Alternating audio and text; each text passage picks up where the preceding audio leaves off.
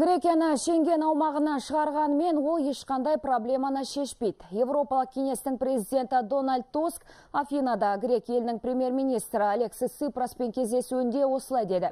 Айта кетейік, Евродаққа мүше мемлекеттер кәрі құрлықта мигранттар дағдарысы басталғаннан ақ Грекия шекараны ойдағыдай қорғай алмай отыр деп айыптап келеді.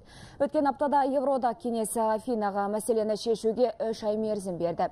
Егер бұл талап орындалмаса, Шенген кодексінің арнайы бабына сәйкес Грекиямен арадағы шекараны Евроодақ кеңесі екі жылға дейін жауып тастай алады. to all those talking of excluding Greece from Schengen.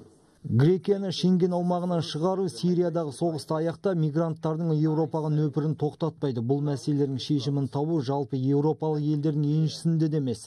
Біз Грекияның ғана емес, сондай Еуроодақтың да сыртқы шекараларын қорғауды жақсартуымыз керек. Еуроодақ тарапынан көп қолдау, ал Грекия жағынан көбірек күш жігер қажет.